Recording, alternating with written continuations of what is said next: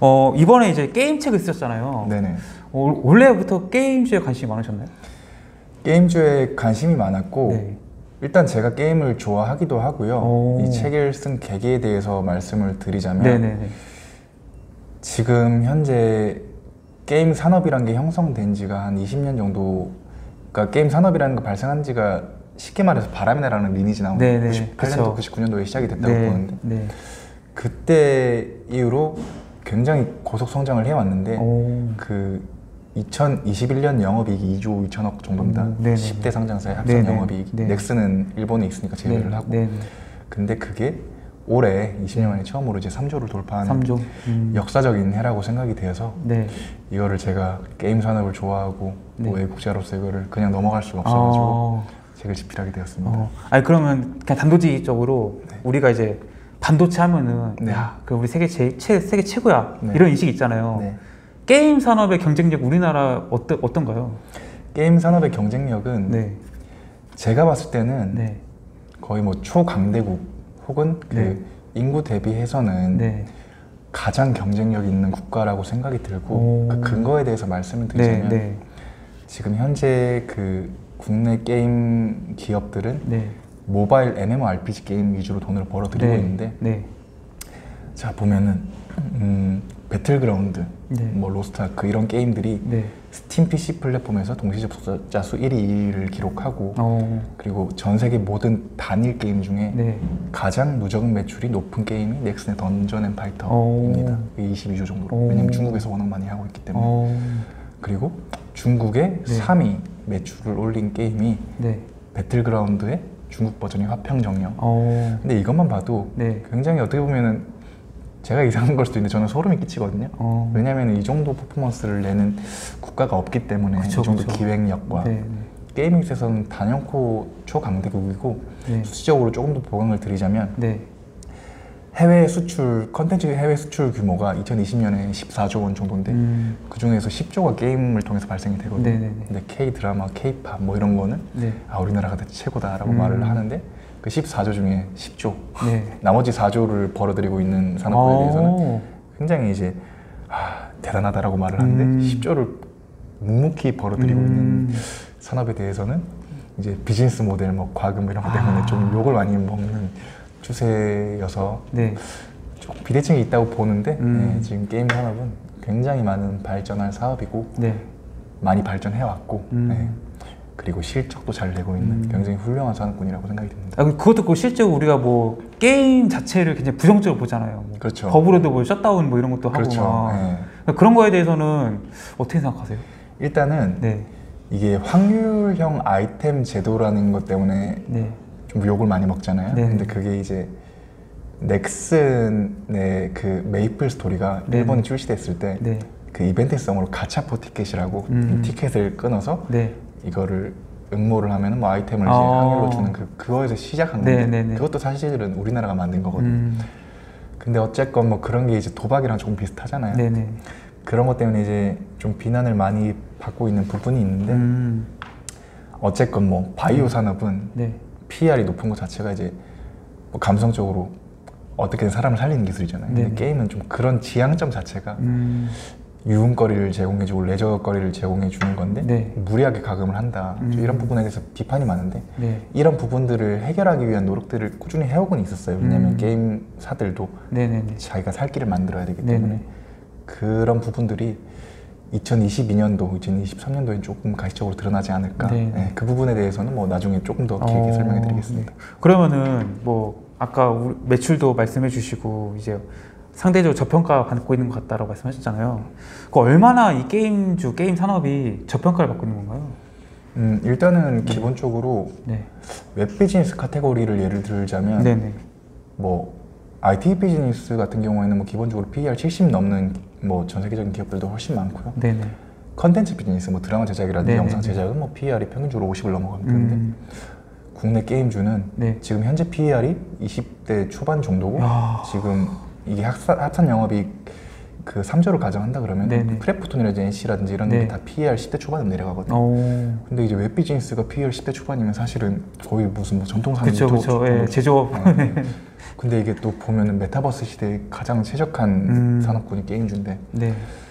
보면은 이게 비대칭이 있는 거죠. 근데 음. 저는 비대칭이 어 근시 안내에 네. 해소가 될 거라고 확신을 하는 입장이고 네네. 물론 저의 의견이지만 네네.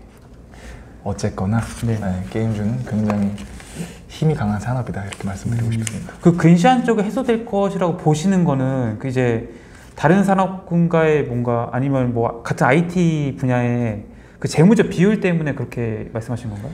일단은 기본적으로 게임 산업이 지금 주가가 저평가받는 이유 중에 제일 근본적인 원인은 기관 수급이 안 붙는 겁니다. 어떤 거요? 기관들이 아 기관이 안 산다고요? 네. 근데 일단 움직임을 보이는 게 네. 그 사우디아라비아 국부펀드 600조 정도 PIF 국부펀드가 네. NC 소프트의 지분을 9% 차지하고 오. 넥슨 지분을 7%를 차지했습니다. 그리고 오. 국민연금 크래프톤이 지분을 늘리고 있고요. 네네네. 근데 게임주 관련해서 기관들의 수급이 안 붙은 이유는 네.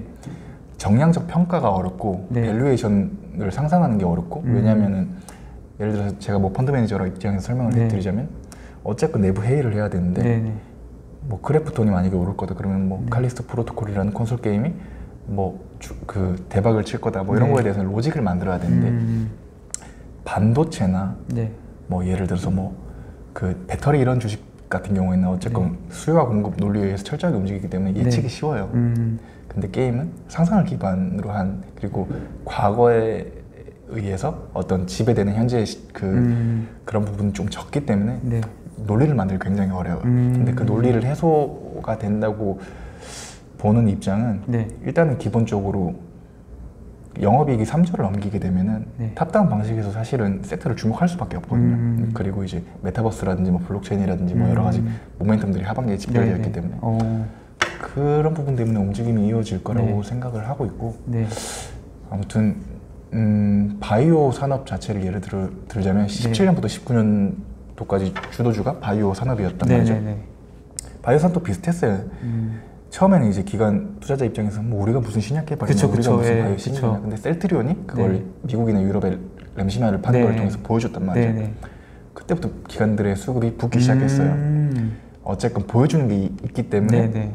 믿음이 시작된단 말이죠. 근데 하반기에는 보여줄 수 있는 모멘텀들이 너무 많아서 음, 안볼 수밖에 없는 왜냐하면 안 보면은 직무유기가 될 수 있는 그런 상황이 형성이 될 거라고 저는 확신하고 있기 때문에 어, 네, 그렇기 때문에 기관 수급도 조금은 기관들의 태도도 좀 달라지지 않을까 생각이 듭니다. 그러니까 뭐 해외 기관 투자들도 뭐 이미 사고 있고 네. 그다음에 뭐 하반기에 뭐 굵직굵직한 모멘텀들이 있어서 네. 앞으로 더 주목을 받으면 받았지 네. 지금보다 뭐 더 소외되거나 이런 일은 없다는 말씀이시죠? 네, 게임주가 네, 그 극심하게 저평가 받았던 이유 자체가 네, 그 2017년도에 한한령 터졌잖아요. 음. 중국 매출이 굉장히 빠른 속도로 네, 줄어들었단 네, 말이죠. 네. 판호를 획득해야 되기 때문에. 음, 근데 그 기조가 지금까지 이어지고 있는 아, 부분이 많은데 음. 근데 중국에 대해서 예를 들자면 중국은 지금 더 나빠질 게 없는 상황이거든요. 네, 지금 뭐 중국에 직진출을 하지도 못하는 상황이고 근데 네, 네, 지금 정권이 바뀌고 지금 뭐 우크라이나, 우크라이나 러시아 사태로 인해서 네, 네, 네. 그런 국제적인 고- 공조라든지 협조라든지 뭐 이런 그 상황적인 좀 모멘텀들이 생기면서 네. 중국도 어떻게 보면은 개방을 조금 할 수밖에 없는 음, 그러니까 더 나빠질 게 없는 상황에서 네, 덜 나빠지는 상황으로 갈 수밖에 없는 상황이거든요. 음. 지금 너무 최악이기 때문에. 네네. 왜냐하면 그 한국 게임 업체들한테 판호 발급 계속 안 해주고 있기 때문에. 음, 근데 그런 어떤 거시적인 모멘텀도 있을 뿐더러 실적도 그런 또 주- 중국발 어떤 그 리스크들을 다 극복하고 있는 상황인데 음, 그렇게 된다면 거시적인 미시적인 환경이 다 굉장히 좋기 때문에 음. 앞으로 어, 바이오 다음으로 주도주가 되지 어. 않을까라고 확신을 하고 있습니다. 그럼 어떻게 보면 늘 오늘이 바닥이겠네요. 이제 점점 올라가 올라갈 일밖에 없으니까. 음, 뭐 경제 위기라든지 뭐 아, 이런 부분들에 대해서 제가 네. 사실은 저는 개인적으로 오늘이 바닥일 수밖에 없다고 생각을 하고 있는 음, 입장이지만 음, 음.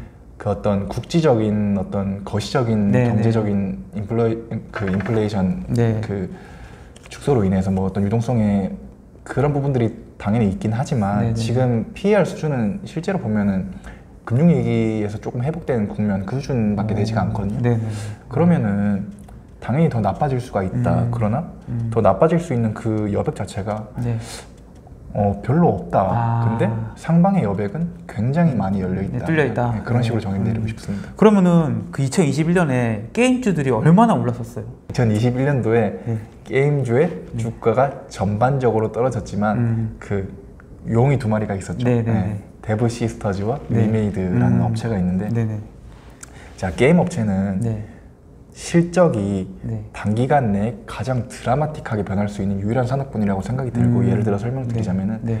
데브 시스터즈는 2020년도에 영업이익이 마이너스 60억에서 다음에 600억 영업이익 600억 이요? 네, 그 굉장히 말도 안 되는 숫자죠. 네, 네, 그렇죠. 그리고 위메이드는 마이너스 100억 흑자, 적자에서 네. 1000억 흑자. 네. 그러니까 이런 부분 때문에 데브 시스터즈와 위메이드가 10배가 10배가 올랐죠. 음, 음. 지금은 많이 반납한 상태고요. 음. 그래서 2021년도는 그 어떤 전반적인 흐름 자체는 안 좋았지만 네네. 위메이드 데브 시스터즈의 사례를 통해서 게임주 음. 실적의 어떤 성향 변동성의 힘을 어. 좀 과시했던 회가 어. 아닌가라고 생각이 듭니다. 그럼 이렇게 이제 극적인 변화가 일어났던 거는 게임이 대박이 난 건가요? 그렇죠. 어, 그럼 어느 정도 대박이 났으니까 이렇게 된 거예요? 일단은 네. 위메이드를 예를 들어 설명드리자면 네.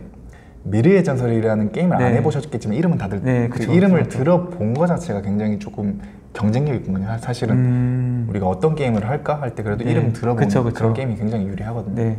그리고 미르의 전설은 네. 2020년대 초반에 중국의 국민 게임이었어요. 한때 음. 이제 중국의 게임 시장의 점유율이 60% 정도에 오, 육박할 정도로 네네. 굉장히 이제 중국의 어떤 리니지 같은 존재였는데 네. 그 위메이드의 어떤 시- 그 3, 4 이런 거 시리즈물들은 다 실패를 했지만 네네. 중국 업체들이 그 IP를 사들였어요. 아. 그래서 자기들이 개발을 해서 게임을 출시를 했는데 그게 또 대박이 난 거예요. 어. 그럼 중국 시장에서 네. 위메이드라는 회사의 존재는 모르지만 미르의 전설이라는 IP는. 굉장히 막 신선하고 그쵸. 굉장히 어떤 그 지금의 한국의 리니지 같은 존재가 음. 되어 있었던 상황인 음, 거예요. 음. 그 상황에서 장병규 의장이라는 굉장히 걸출한 어떤 네. 게임업계 인재님께서 네, 네. 존경하는 존경하는 네. 네. 그 미르 4라는 모바일 버전의 게임을 출시를 했는데 네. 그게 이제 한국에서부터 트래픽이 유입이 되고 음. 동남아 지역에서도 굉장히 트래픽이 유입이 되면서 음. 게임이 뭐 소위 말하는 대박을 쳤죠. 오. 그래서 이제 계속 적자 흑자 뭐 네. 이렇게 꾸준하게 이제 실적이 안 좋다가 네. 그한 번에 이렇게 어떤 상황을 반전시켰고 어. 데브 시스터즈의 예를 들자면 네. 데브 시스터즈 쿠키런 쿠키런이라는 네. 회사가 있는데 쿠키런 게임이 있는데 그거는 네. 이제 캐주얼 게임이죠. 음. 그 쿠키런 쿠키 캐릭터가 이렇게 달리면서 이제 아이템을 먹고 뭐 더 많이 이제 네. 달리는 뭐 이런 부분의 게임이었는데 네. 캐주얼 게임의 단점은 게임이 아무리 유명해도 과금 요소가 적어요. 어. 그러니까 MMORPG는 본인의 캐릭터에 애착을 갖고 그쵸, 그쵸. 그거를 막 강하게 키우기 네. 위해서 이제 과금을 하는데 뭐 쿠키를 막 강하게 만들고 싶은 본인은 사실 없잖아요. 네, 네. 근데 이제 그래서 우리도 RPG 게임을 한번 만들어 보자라고 음. 생각을 오랫동안 해서 네. 그 쿠키의 캐주얼 게임을 RPG와 한개 아. 쿠키런 킹덤인데 근데 음. 그게 이제 일단은 쿠키런이라는 IP 자체는 굉장히 전 세계적으로 글로벌하게 유명한 상황이었단 네. 말이죠. 근데 그것들을 이제 과금이 다만 안 되고 있는 것 네, 뿐이지. 네. 과금 요소를 만든 그 well-made 게임을 만들었잖아요. 네. 그게 이제 굉장히 좋은 퍼포먼스를 얻으면서 음. 이제 뭐 마이너스 60억에서 600억 자 오. 그렇게 드라마틱하게 변했다고 볼 수 있습니다. 그러니까 이제 위메이드 같은 경우에는 이제 IP를 중국 업체에 팔아서 거기서 지금 로열티를 얻은 건가요? 로열티를 얻었죠. 네. 아. 로열티를 얻으면서 이제 네. 그러니까 이카로스라는 게임도 있고 위메, 위메이드가 네. 노력을 안 한 건 아니에요. 근데 음. 그게 다 좋은 성적을 얻지 못하면서 네, 네, 네. 그 IP 로열티 수익만을 계속 꾸, 끊임없이 음. 이제 그- 그 수취를 해오면서 기업을 영위해오다가 음. 그러니까 그 미르의 전설이라는 IP는 액토즈 소프트와 위메이드의 공동보유예요. 근데 네. 액토즈 소프트는 자체 게임을 개발을 하기 위한 노력을 조금 음. 등한시했고 위메이드는 장병규 의장의 강력한 리더십 아래 그거를 굉장히 노력을 했단 말이죠. 음. 그게 이제 빛을 뭐 거의 10년 만에 발한 거죠. 음. 그래서 이제 게임 어떤 위메이드가 뭐 블록체인이라든지 이런 트렌드적인 면도 다 잘 따라줘서 어. 굉장히 게임 중견 기업으로서 거듭나게 되었습니다. 어. 그 책에서 이제 주가 상승률 가파른 기업들의 특징들을 이제 소개해 주셨잖아요. 네. 이게 이 특징들이 결국에 게임주에 아주 부합한다는 말씀이시잖아요. 네네. 네, 어떤 특징들이 있나요? 저는 기본적으로 제가 나이가 젊기도 하고 네. 모든 산업을 투자할 때 한계 비용이 적게 드는 기업에 음. 투자를 하는 한계 네. 비용이란 말은 사업을 확장시킬 때 드는 비용이 제로에 수렴하는 네, 거. 네, 네. 뭐 예를 들어서 웹툰, 뭐 컨텐츠 뭐 이런 기업들은 뭐 우리가 영화 드라마를 찍, 찍는다고 해서 그거를 뭐 전세 각국에 이제 개별적으로 판다고 해서 저희가 비용이 드는 게 아니잖아요. 그렇죠, 그렇죠. 그런 산업을 되게 좋아해요. 음. 그래서 IT 비- 비즈니스를 좋아하는데 네. 그 중에서도 가장 이제 현금 창출 여력이 능력이 좋은 게 게임주라고 생각이 어. 들어서 그래서 이제 일단 한계 비용이 없는 네. 기업들을 위주로 투자하고 그 네. 외에도 이제 뭐 패션 기업이라든지 브랜드 가치를 통해서 네. 저가격에 그뭐 아웃웨어를 찍어내서 네. 고마진을 거두는 그런 비즈니스라든지 뭐 예를 들어서 반도체나 뭐 배터리와 같이 이제 생산 능력으로 네. 시장을 잠식하는 이런 부분들을 좋아하긴 한데 네. 네. 중요한 거는 그 다른 섹터들은 이렇게 한계 비용이 적은 다른 섹터들 네. 대부분이 주가에 그 사업 확장 능력이 반영이 되어 있단 말이죠. 음. 일이 많이 올랐단 말이죠. 기관들의 수급이 붙어서. 네. 근데 그 하나의 어떤 공집 그 여집합 네. 게임주는 네. 아직까지 조금 그런 부분들이 비대칭이 굉장히 심각한 단계이기 때문에 오. 특히나 네. 제가 조금 관심을 보이고 오랫동안 연구를 해왔습니다. 어. 우리나라 그 게임 산업의 네. 현실은 어떤가요? 이게 게임 산업 규모는 어떻고 음. 어떤 상태인지. 네. 자 거시적으로 짚어드리자면은 네. 게임 산업은 네. 이제 세 가지로 분류할 수 있습니다. 네. 네. 모바일, 네. PC, 콘솔. 네. 어. 네. 근데 국내 게임 산업은 네. 모바일 MMORPG 위주로 발전을 했죠. 아. 근데 그 배틀그라운드는 굉장히 이제 조금 예외적인 네, 그 사례고 네. 네. 네. 뭐 저희가 그 FPS 게임으로 이렇게 전 세계에서 2018년도 1위 게임을 차지할 지는 뭐 아무도 예상을 네. 못한 그쵸. 그쵸. 그 외적으로는 네. 모바일 MMORPG 게임을 통해서 네. 출시가 네. 이제 콘솔 게임이라 하면 플레이스테이션이나 엑스박스 음. 그러니까 플레이스테이션이나 엑스박스는 북미나 유럽 지역에서 굉장히 많이 해요. 네. 근데 우리나라는 방치형 게임이라는 그 단어를 통해서 알고 있죠. 우리나라는 짧은 시간 동안 이제 생활적으로 뭐, 뭐 하루에 뭐 한 네 번씩 플레이하고 뭐 이런 그 행동 패턴을 보인다면 음. 그 미국이나 유럽의 어떤 그 푸른 눈을 가진 사람들은 네. 퇴근을 하고 네. 그 소파에 앉아서 네. 플레이스테이션을 켜서 굉장히 그 두 시간 동안 타이트하게 어. 게임을 즐기는 문화가 오. 조금 있단 말이죠. 근데 음. 그게 이제 콘솔 게임인데 네. 네. 그 콘솔 게임 그 well-made 콘솔 게임을 만들기 위해서는 한 500억 정도의 투자 비용이 들어가는데 어. 근데 사실은 우리나라 입장에서는 모바일 MMORPG도 500억이면 만드는데 네. 굳이 콘솔 게임 만들어야 돼 이런 아. 모멘텀이 조금 컸단 말이에요. 근데 음. 이제 2022년도부터 네. 그 60조 규모의 콘솔 시장에 저희가 이제 triple AA급 well-made 게임을 만들기 위해서 넥슨이랑 크래프톤이라는 회사가 그 이제 하반기에 출시를 앞두고 있고 어. 근데 이거에 대한 성과가 어, 굉장히 국내 게임 산업의 모멘텀을 오. 유지할 만큼 굉장히 네. 어, 중요한 모멘텀이라고 보고 네. 그러니까 크래프톤이 이제 그럼 콘솔 게임에 왜 뛰어들었냐 넥슨이랑 크래프톤이 콘솔 게임에 이제 본격적으로 뛰어들었는데 네. 넥슨은 기본적으로 뭐 영업이익이 뭐 해마다 조 단위로 벌어들이고 있기 네. 때문에 일단은 자본력이 굉장히 풍부하기 때문에 네. 콘솔 게임에 우리가 한번 뛰어들자라고 해도 음. 이제 별로 타격이 없는 상황이어서 네. 뛰어들었다 그래서 스웨덴의 엠바크 스튜디오라는 네. 그 콘솔 스튜디오를 인수를 해서 네. 이 하반기에 출시를 한다 네. 크래프톤을 예를 들자면 네. 크래프톤은 이제 옛날 사명이 블루홀인데 블루홀이라는 회사는 네. 그 테라 아시죠? 네. 그 온라인 게임 테라를 만든 회사인데 그핵 게임이 그 리니지의 개발진 뭐 박웅영 음, 개발진까지 네. 걸출한 그 그분들이 이제 그 리니지 사단 네. 그분들이 나와서 이제 게임을 출시를 했는데 생각보다 잘 안 됐어요. 음, 맞아요. 그래서 막 직원들 월급 줄 음. 것도 걱정을 할 만큼 네. 잘안 되고 있다가 이제 김창한이라는 이제 개발자가 30억을 어, 투자를 해주시면 저희가 이제 배틀로얄 게임 한번 만들어 보겠다. 그 음. 30억을 들여서 이제 만든 게임 배틀 그 오. 배틀그라운드란 말이죠.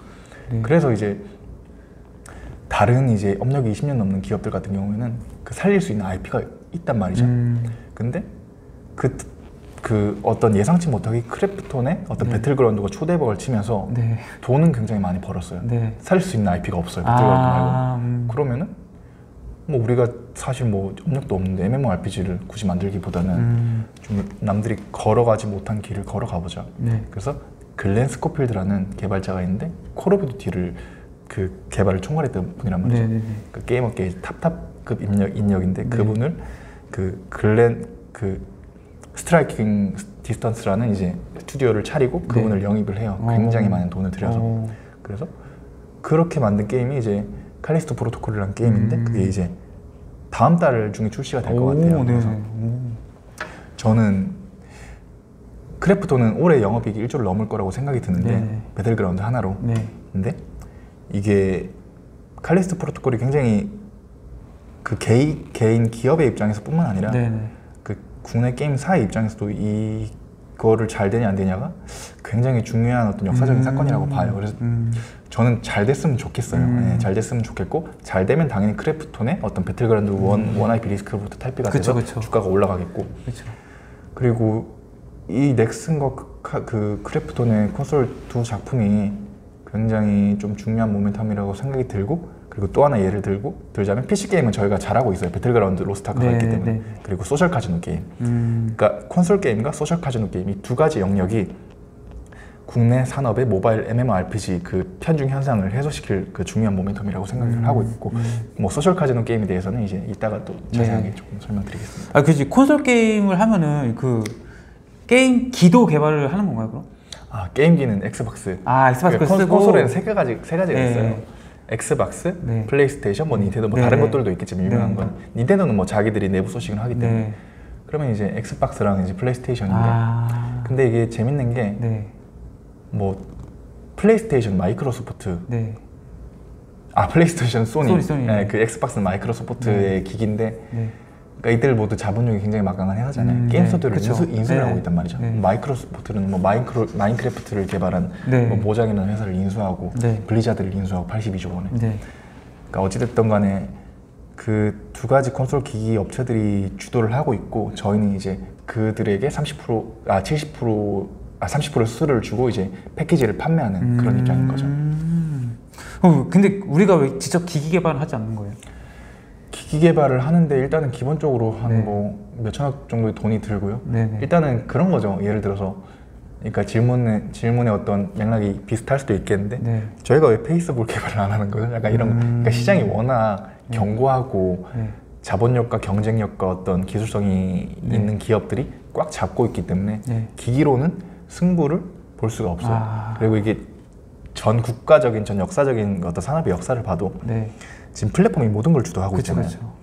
그뭐 예를 들어서 뭐 게임 업체도 텐센트가 중국에 위치해서 만든 네. 업체인데 뭐 텐센트가 뭐 그 롤을 만든 라이엇 게임즈를 인수하고 뭐 네. 슈퍼셀을 인수하고 네.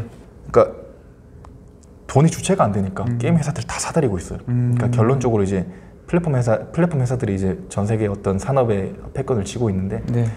그뭐 콘솔이라든지 뭐 플랫폼이라든지 이런 그 플랫폼적인 산업 을 네. 주도할 수 있는 기회들이 2000년대 2010년대 중반 2000년대 초, 음. 초 반에 기회가 있었는데 음.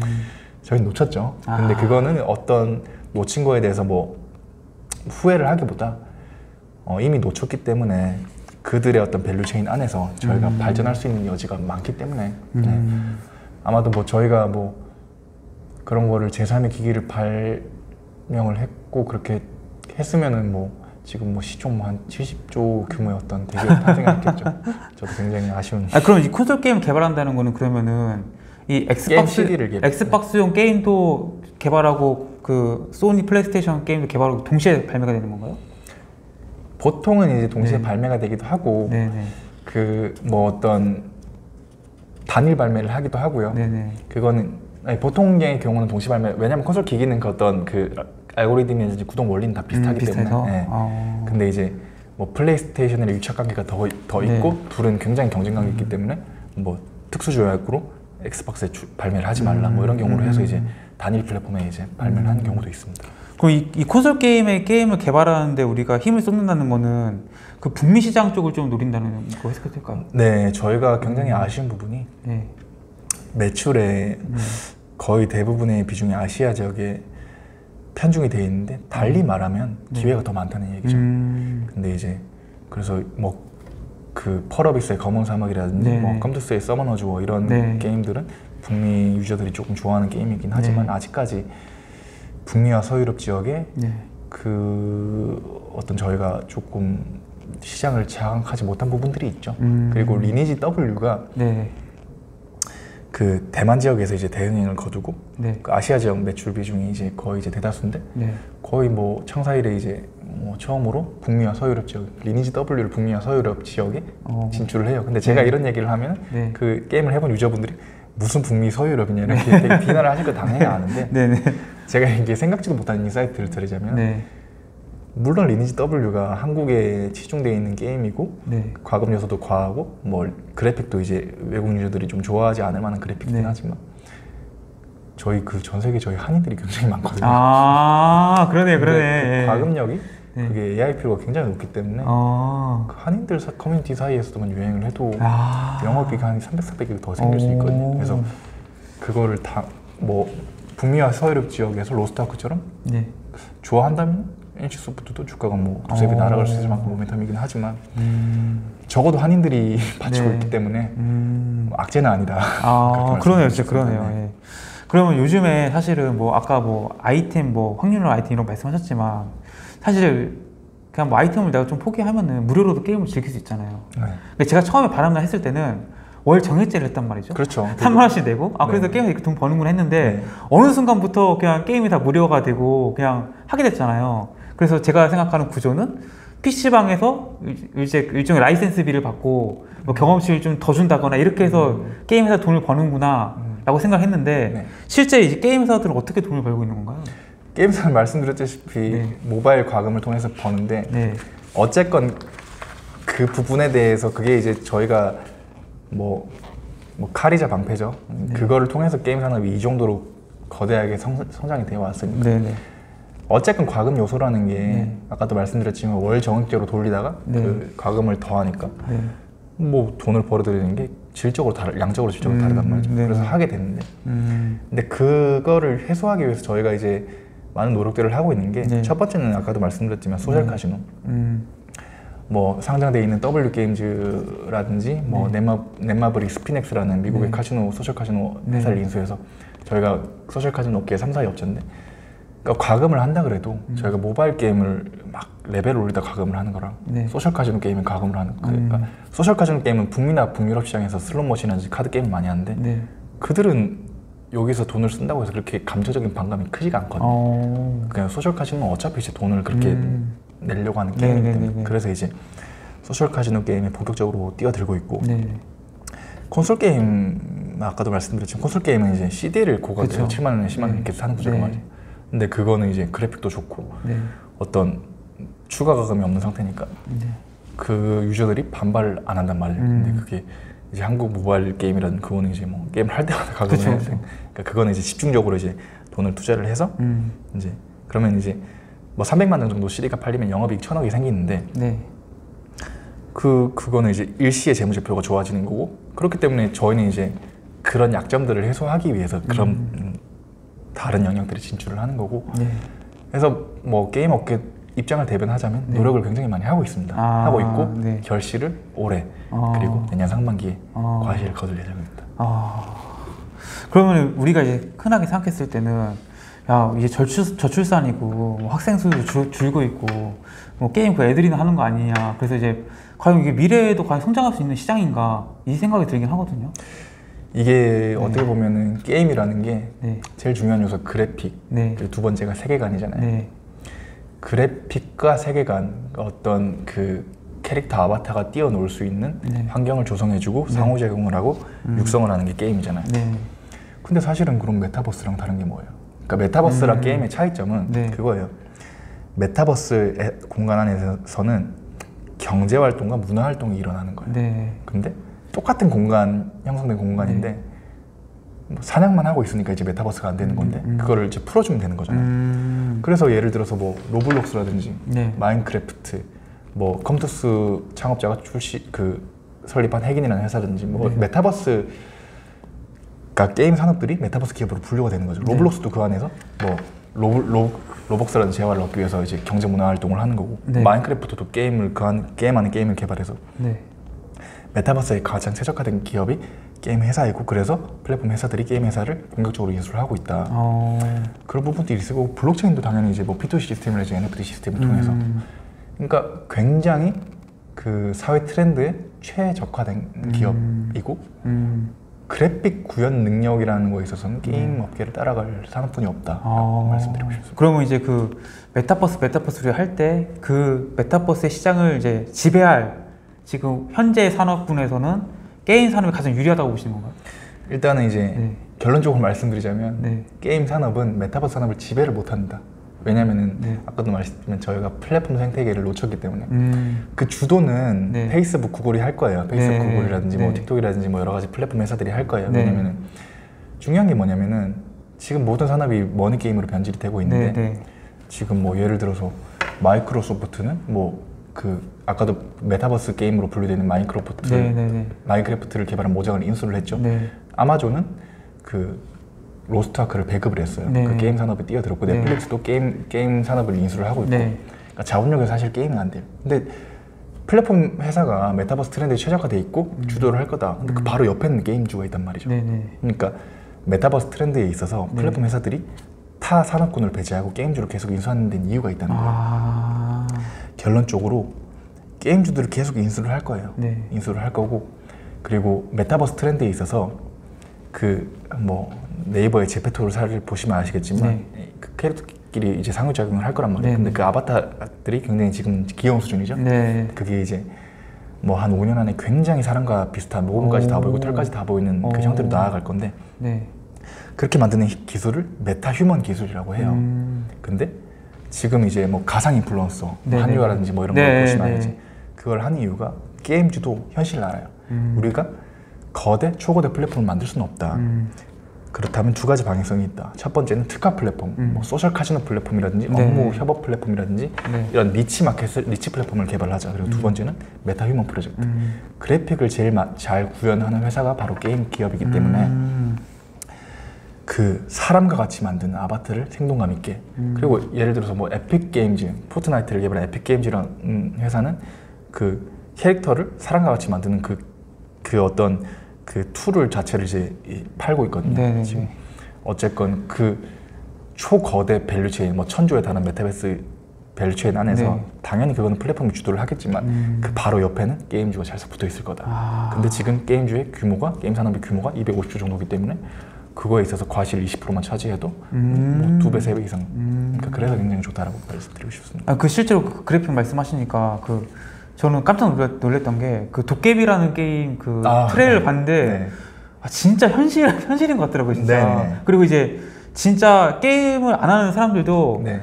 궁금하고 네네. 한번 나도 해보고 싶다는 생각이 들 정도로 진짜 그 그래픽이 진짜 엄청 어마어마, 어마하더라고요 진짜. 네. 그 도깨비라는 게임 어떻게 보셨어요? 도깨비라는 게임은 네. 아직 저- 출시 안 했죠? 네, 2023년도에 아마 출시를 네. 할것 같은데 네. 그 펄어비스가 네. 그 굉장히 주주들이 그 어떤 그 자부심은 대단해요. 왜냐면 옛- 옛날에 셀트리온 느낌? 아, 네네. 펄어비스는 네. 그 그래픽이 훌륭한 게 네. 보통의 게임 회사는 언리얼 엔진이라는 그 디- 그래픽 엔진을 쓰고 있는데 어. 그 김대일 의장이 약간 그 기술적으로 굉장히 뛰어나신 분이 자체 엔진을 개발을 했어요. 아, 네. 그러면 이제 자기가 원하는 그래픽을 쉽게 만들어낼 수 있단 음. 말이죠. 그러니까 그 기술 자체가 굉장히 뛰어나서 네. 펄어비스는 모멘텀을 말씀드리자면 뭐 붉은 사막이 출시를 하고 네. 이제 도깨비가 출시를 하고 근데 그거는 어- 지금 현 상황에서는 얼마나 될지는 사실 모르겠어요. 그지 모르죠 모르죠. 제가 감히 말씀드릴 수 없는 부분이지만 네. 어쨌건 그러면은 모든 게임 주 주 가운데 그래픽에 있어서는 독보적인 영향을 가지고 있는데 음. 그러면 이제 메타버스 트렌드에서 네. meta human이라든지 어떤 네. 그래픽 기술 원천 기술을 어떤 뭐 로열티를 받고 판다든지 네. 이런 부분에 부가적인 비즈니스 모델을 형성할 수가 있으니까 아. 굉장히 좋은 거죠. 그리고 덤으로 지금 펄어비스가 굉장히 많은 조정을 받고 있기 때문에 도깨비가 잘 된다면 뭐 그래프트 수준을 당연히 음. 성장할 수도 있는 거고 그 부분에 대해서는 제가 이제 판단은 아직까지 유보를 한 상황입니다. 음, 음. 사실 뭐 나온 것도 없고요. 사실 영상밖에 없으니까 지금. 그럼요. 네. 네. 근데 저도 굉장히 혹하더라고요. 어, 그죠, 그죠. 네, 네. 아, 근데 그, 그러면은, 지금, 이제 정리를 좀 해보면, 게임, 게임사, 게임 기업들이 뭐 메타버스의 주도권을 잡기는 이제 어려운 거고, 대규모 글로벌 SNS 업체들이 결국에는 메타버스를 이제 시장을 재편해 나가는 건데, 그 과정 속에서 뭐, 일종의 뭐 제휴라든지, 이런 식으로 게임 기, 기업들이 수혜를 볼 수 있다는 말씀이신가요? 피인수 모멘텀이 굉장히 많죠. 음. 그러니까 지금 이게 두 가지를 말씀을 드리자면 네, 어쨌건 지금 플랫폼 컨텐츠 네. 그 게임 회사들 사이에서 결합 융합이 굉장히 활발하게 일어나고 네. 있어요. 그러니까 플랫폼 기업이 게임 회사들을 막 사들이는 거는 네. 그러니까 텐센트도 이제 투자 자회사를 통해서 이제 네. 그러니까 투자 자회사를 통해서 뭐 카카오 게임즈라든지 뭐 NC라든지 네. 크래프톤을 게- 계속 지분을 투자하고 있기 때문에 네. 그 투자 자회사 이름이 이제 텐센트랑 달라서 우리가 인식을 못할 음. 뿐이지 네. 굉장히 플랫폼 회사들이 게임 회사들을 많이 사들이고 있어요. 음. 그리고 또 하나 게임 회사들은 컨텐츠 회사들을 사들이고 있어요. 어. 컨텐츠는 위지윅 스튜디오라는 네. 드라마 제작사를 사들이고 있고 아. 위지윅 제작, 위지윅 스튜디오는 래몽래인이라는 드라마 제작사를 사들이고 있고 음. 그 이유는 어쨌건 그 플랫폼 게임 컨텐츠 그 세계의 어떤 산업군 자체가 본질적으로 비슷해요. 음. 그래픽과 세계관의 구현인 거잖아요. 음. 그리고 게임주는 지금 어떤 본연의 비즈니스 모델의 위험을 가지고 있고 PER이 낮게 평가되기 때문에 네. 초고평가를 받고 있는 컨텐츠 산업에 진출을 하게 되면은 네. 어쨌건 뭐 valuation 측면에서 유리한 음, 부분이 있단 말이죠. 음. 그래서 이제 뭐 자기 그 캐릭터 IP를 통해서 애니메이션을 출시를 하기도 하고 음. 뭐 역으로 애니메이션 IP를 통해서 게임을 개발을 하기도 하고 음. 이런 식으로 융합이 굉장히 많이 일어날 거고 음. 비즈니스 모멘텀도 굉장히 많이 부각이 될 거다 이렇게 말씀드리고 아, 싶습니다. 알겠습니다. 어, 그 게임 산업 구조에 대해서 좀 여쭤보고 싶은데 네. 일단 게임 산업 구조를 보면은 일단 저 같은 사람들은 아, 게임 개발 업체가 있다. 네, 이것만 인식하거든요. 네, 실제로 뭐 바람의 나라 같은 경우에 그냥 넥슨에서 개발해서 네. 그걸 다운받아서 해서 그냥 돈 버는 구조였잖아요. 그렇죠. 네. 근데 지금 이 산업 구조 어떻게 변했나요? 어, 산업 구조는 네. 세 가지 이제 플레이어가 있습니다. 네. 개발사, publisher, 플랫폼. 네. 개발사 퍼- 플랫폼은 당연히 아실 테고 네. publisher에 대해서 말씀드리자면 네. publisher는 그 게임을 네. 개발사가 개발한 게임을 운영하고 마케팅을 해서 음. 그 소비자와의 어떤 접점에 있어서 모든 걸 관리해주는 그 업체 플레이어를 말하는데 네. 네. 당연히 네. 그 자본력이 있는 회사는 네. 개발사가 publisher 역할을 같이 하겠죠. 음. 대다수가 그렇게 하고 있고요. 네네. 근데 자본력이 부족하지만 게임을 잘 만든 개발사 같은 음. 경우에는 어떤 자기 게임을 흥행시키기 위해서는 도움이 필요하단 말이에요. 아. 그럼 예를 들어서 라이온 하트라는 회사가 오딘을 개발을 했어요. 네네. 근데 그걸 카카오 게임즈가 publishing을 했어요. 네. 그러니까 그런 부분에 있어서 어떤 개발에 있어서 역점이 있는 회사는 이제 마케팅을 잘하는 카카오 음. 그 모기업인 회사의 어떤 힘을 빌리기도 하고 네. 이런 식으로 동시에 하고 있는데 중요한 건 그거예요. 던전 앤 파이터도 사실 넥슨에서 개발한 게 아니라 이제 그 원더 원더월이라는 그 회사가 인수한 아. 게임을 이게 어. 그러니까 publisher 그러니까 게임 대기업들이 네.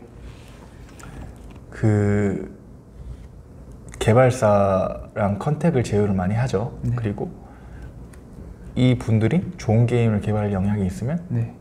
그 게임 개발사를 인수를 해요. 음. 그래서 이제 네. 예를 들어서 카카오 게임즈도 네. 그 오딘의 반응이 좋으니까 네. 그 라이온 하트를 인수를 했고요. 음. 그러니까 그런 식으로 publisher 역할을 지금 게임 대기업들이 잘 하고 있기 때문에 네. 이거를 인수를 해서 뭐 이제 자기 그 외부의 게임을 내재화하는 이런 좀 네. 움직임들이 일어나고 있는 상황입니다. 음.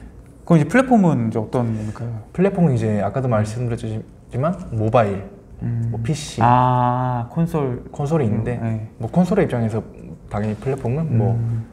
플레이스테이션이랑 엑스박스고 네. PC의 입장에서는 스팀이라는 플랫폼이 음, 있어요. 네. 그러니까 그 지금 글로벌 회원이 뭐 10억 정도가 되는데 네. 그러니까 PC 게임은 이제 거의 다 스팀이라는 플랫폼을 음. 통하고요.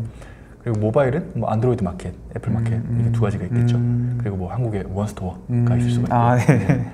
그들은 이제 네. 게임에서 과금을 하게 되면은 음. 뭐30% 정도 수수료를 받는 그런 음. 비즈니스 모델을 하고 있습니다. 그럼 이제 개발사 publisher 플랫폼 중에서 뭐 하나의 게임 출시가 됐다 했을 때 어디가 가장 이익을 많이 가져가는 거예요? 지금 현재 상황상에서는 네. publisher가 많이 가져가요. publisher가 그러니까 저도 이제 비즈니스 모델 생태계 자체가 생긴 게 publisher가 많이 그러니까 어떻게 보면은 개발사는 네. 개발사가 publisher가 있는데 개발사가 자본력이 없는 입장에서는 네. publisher가 어떻게 보면 사실 강력하게서 이기죠. 음. 왜냐하면 우리가 더 그래서 이제 배열 부분이 7대 3 정도로 이제 음. publisher가 7로 먹는 구조가 형성이 되었었는데 네. 근데 그 부분들이 좀 고착화되어 가져간 거죠. 아. 근데 이제 뭐 어찌 됐건 간에 네. 개발사를 publisher, 뭐 국내 게임 대기업들이 겸하고 있기 때문에 네. 네. 그 수익을 이제 같이 가져가고 있고 음. 그러니까 저희가 억울한 부분은 네. 반대로 저희 게임을 중국에 출시했을 때 네. 중국의 publisher 텐센트가 아. 그거를 70% 80% 그러니까 음. 그 재주는 누가 부리고 아. 그런 그런 조금 아쉬움이 있죠. 그러니까 게임 개발 우리가 힘들게 하고 그렇죠. 그러니까 네. 뭐 네. 거기 유통만 해서 돈을 번다는 말이죠. 근데 더 억울한 게 네. 텐센트는 그거를 통해서 벌어들인 수십조 원으로 해외 게임 개발사 롤을 만들 라이엇 게임즈 네. 뭐 그런 그 유수의 게임사들 다 사들이고 다 사들이는. 거예요? 그러니까 이게 플랫폼을 저희가 이제 아. 조금 현실을 인정해야 될 부분들이 있는 거죠. 그러면 그러면 결국에는 publisher가 갑이네요, 그냥. publisher 플랫폼이 뭐 갑이죠. 네. 그렇죠. 그 갑이라고 하면 개발사분들 섭섭해하실까 아, 그래요? 어찌됐건 간에 그러니까 지금 생태계 자체는 publisher와 플리- 플랫폼이 유리하게 돼- 생각하는 부분이 분명히 있죠. 네. 음. 게임을 말씀하셨을 때 이제 IP를 말씀하셨잖아요. 네네. 이 IP라는 게 정확하게 뭘 얘기하는 거예요? IP는 네. Intellectual Property, 지적 재산권의 준말로서 네. 그러니까 IP가 그거잖아요. 뭐 무형 자산이 있는데 네. 이거의 어떤 독보적인 권리가 인정이 돼서 네. 그거를 어떤 재산적인 이익을 수취할 수 있냐 없냐 이거를 특정 짓는 재산권인데 음, 그러니까 쉽게 말해서 IP는 네. 게임은 세계관이라고 말을 했잖아요. 네. 그 세계관들이 다 다르잖아요. 네. 메이플 스토리하고 뭐 바람의 나라가 다르듯이 네. 리니지가 다르듯이 네. 이거를 이제 그들이 갖고 있는 그 그걸 IP라고 말을 음. 하는데 기본적으로 IP를 어떻게 확장시키고 활용하고 네. 신규 IP를 어떻게 개발을 하냐 음. 이런 부분들이 게임사의 경쟁력이라고 볼수 어, 있죠. 네. 그러면은 이걸 IP만 보고도 이 게임이 잘 될지 안 될지 판단할 수 있나요? 그게 이제 요즘입니다. 어. 그러니까 말씀을 드리자면은 네. 일단은 IP가 곧 게임 게임 회사의 어떤 본질이라고 보는데 네. 네. 그러니까 예를 들어서 위메이드라는 회사도 그 IP를 개발을 하기 위한 노력을 포기하지 않았기 때문에 지금의 어떤 음. 자리에 있는 거잖아요. 네. 네. 뭐 그렇다면은 일단은 우리가 게임주를 투자를 하는 거는 뭐 산업을 공부하기 위해서 물론 있지만 이제 투자의 결실을 얻어야 되기 때문에 네. 네. 네. 투자를 하기 제일 좋은 시점이 네. 음, 그 기존에 있던 IP가 매출의 하향 안정화를 기록을 해요. 네. 매, 매출 수준이 조금 안 좋아지겠죠. 네. 근데 그 IP를 활용한 신작을 출시를 하거나 어. 신규 IP를 개발을 하거나 네. 그러니까 동뜨기 전이 제일 어두운 것처럼 네네네. 그 시기에 투자를 하면은 아. 근데 일단은 중요한 게 그러면 그 게임이 잘 될지 안 될지 어떻게 하냐 그쵸. 근데 그거는 사실 예측을 할 수가 있어요 어느 정도는 네. 정확하게 예측을 못하지만 네. 일단은 그 개발 일정이라는 거를 네. IR 자료를 통해서 다 공시를 해요 언제 음. 언제 출시가 될 아, 거다 그래서 제가 네. 이렇게 빠삭하게 알고 있는 것처럼 음. 그리고 두 번째는 사전 예약, CBT, 유튜브 반응 네. 네. 네. 트래픽 같은 경우는 우리가 정보가 공개가 돼 있단 말이죠 네. 네. 그리고 세 번째, 기존 IP를 활용한 게임을 개발을 할 경우, 예를 네. 들어서 뭐 리니지 리니지 W의 경우 뭐 어- 어느 정도 잘 되겠다라는 예측이 있잖아요. 네. 네. 기존 IP의 팬덤이 견고할 경우, 음. 예를 들어서 컴투스 서머너즈처럼 음. 그러면은 어느 정도 잘 되겠지. 아. 그리고 지금 매출이 지금 기존의 트래픽이 하단이 어느 정도 받쳐주고 있으니까 이 네네. 게임이 어, 어느 정도 성과를 내도 밑으로는 닫혀 있고 위로는 열렸겠구나. 음, 음. 그러면 이제 그 high risk 네. high return 게임이 아니라 음. middle risk high return 음. 게임인 거죠. 그러면은 굉장히 매력도가 높은 산업인 거죠. 어. 야, 반대로 얘기를 해서 들- 예를 들자면 우리가 네. 신약 개발 업체를 네. 그러니까 어떤 상향 potential은 비슷하단 말이죠. 네. 그럼 우리가 그 신약 정보 데이터를 100% 공개가 되지 않고 네. 그걸 해석할 능력도 없고 음. 뭐 상품화 단계까지 굉장히 오랜 시간이 걸리고 네. 그러면은 섹터 경쟁력은 제가 봤을 때는 굉장히 성장주 투자자들한테는 여러모로 음. 좋은 투자자 투자처라고 그 투자를 하는 문화 자체가 좀 형성이 안 됐기 때문이지 음. 조금만 공부가 선행된다면 네. 지금의 시점에서 제일 전도 유망한 섹터라고 어. 확신을 하고 있습니다. 어. 아 그러면은 그, 그 IP를 이제 어떤 방식이나 어떤 형태로 하느냐에 따라서 결과가 또 달라질 수 있겠네요. 그렇죠. 어. 그럼 혹시 그 같은 IP로 했는데 네. 처음에 안 됐다가 네. 뭐 이걸 다시 뭐 바꿔서 성공한 케이스 뭐 이런 게 혹시 있나요? 어 뭐 예를 몇 가지 드리자면 크로스파이어라는 그 중국의 네. 그러니까 스마일게이트라는 회사가 있는데 총 쏘는 게임이죠? 네. 네. 근데 그거 그게 한국 시장에서 잘 안 돼서 이제 네. 중국 시장에서 출시를 해서 잘 된 케이스고 네네. 그리고 IP가 잘 안 됐다가 잘 된 케이스라 하면은 사실 잘 안 됐다가 갑자기 잘 된 케이스는 잘 없어요. 아, 극히 드물군요. 왜냐면 잘안 되는 건 이유가 조금 있기 아 때문에. 그리고 또 이제 막 한 번 망했기 때문에 잘 이제 안 네. 하는 것도 있고. 그런 그런 것도 있고, 네. 그러니까 막 그 IP가 잘 안 됐다가 막 급격하게 잘 됐다기보다는 네네. 그 미래의 전설이나 쿠키런처럼 네네. IP가 소소하게 유지가 되다가 아. 그 어떤 하나의 어떤 그 확장한 그 IP물이 네. 대박이 나서 음. 그 예를 들어서 뭐 스타크래프트 2가 잘 안 되고 네, 지금 네, 계속 네, 그쵸, 하고 그쵸. 있는 거잖아요. 네. 뭐 그런 것처럼 음. 그 어떤 특정 어떤 확장 그 시리즈물에 굉장히 많은 유입이 되고 음. 그런 부분들이 조금 있죠. 그 스타크래프트 1하고 스타크래프트 2는 IP가 같은 건가요? IP가? 같은 거죠. 그래서 이제 아. 뭐 디아블로라든지 네네네. 뭐 1, 2, 3, 4 그건 다 같은 아. IP라고 구별을 하는 거고 음. 그러니까 그 디아블로 그러니까 예를 들어서 설명을 드리자면 네. 썬데이 토즈라는 회사가 있어요. 네네. 그게 이제 세 명의 개발자가 일요일에 그 공부방 토즈에서 만나가지고 아, 개발해서? 그게 썬데이 토즈예요? 지금 그게 위메이드가 인수를 해서 네. 위메이드 플레이라는 social 카지노 회사로 이제 바뀌었는데 네. 그러니까 애니팡이라는 게임은 아시죠? 네네 알죠 알죠. 근데 그 게임에 떠오르는 이미지는 흐릿하시죠? 네. 캐릭터가 뭔지 잘 그렇죠 모르시죠? 그렇죠. 예. 그- 그게 이제 IP가 약한 거예요. 아. 근데 그거는 확장하기가 되게 불리해요. 음. 그 쿠키런이나 네. 뭐 캔디 크러쉬 사가나 뭐 이런 거 네. 보면은 뭐 뚜렷하게 각인이 그렇죠. 이게, 이게 아쉬운 거는 썬데이 토즈라는 회사가 애니팡을 개발할 당시에 네. 그 어떤 이제 디자인 디자이너라든지 뭐 storyteller라든지 뭐 이런 부분들이 이제 인력이 없다 보니까 음. 조금 급하게 이제 조금 만들어서 음. 그런 부분들이 약해서 확장이 안 되는 거고 네. 쿠키런은 뭐 쿠, 쿠키런의 어떤 첫 시리즈 자, 자체는 뭐 그렇게 대박은 안 쳤지만 음. 뚜렷하단 말이에요. 음. 그건 살릴 여지가 분명히 있단 말이죠. 아. 그 세계관이 도깨비도 사실 제가 이- 그 유의미하게 보는 것 자체가 네. 뚜렷해요. IP가요? 네, 뭐그 캐릭터 자체가 시- 음. 세계관 자체가 뭐 음. 그러니까 결국에는 지금 양산 게임들이 굉장히 이제 많이 카피 게임들이 많이 출시가 되고 그렇죠 그렇죠.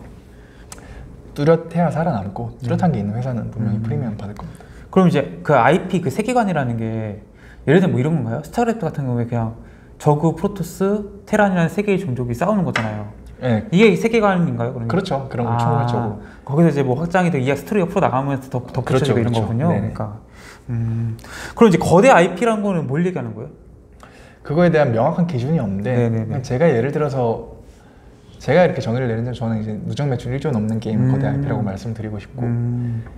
그뭐 예를 들어서 크래프톤 배틀그라운드가. 이제 뭐 지금 올해만 관련 이익으로 영업이 1조를 거둘 거라고 어, 제가 네. 굉장히 이제 조금 과하게 예측을 하는데 아마 많은 분들이 반대를 하실 거지만 저는 네. 영업이 1조를 낼 것 같아요. 어. 그래서 뭐 투자의 판단은 네네. 분명히 저한 그 모든 투자자들은 각자한테 네. 있지만 어쨌건 간에 그런 부분들을 거대 IP라고 부르는데 음. 그 우리나라가 개발한 초거대 IP가 배틀그라운드랑 던전 앤 파이터인데 음. 왜 던전 앤 파이터를 예를 들 좀 의아해 하시는 분들이 있겠지만 네. 던전 앤 파이터는 중국에서 굉장히 좋아해요. 어.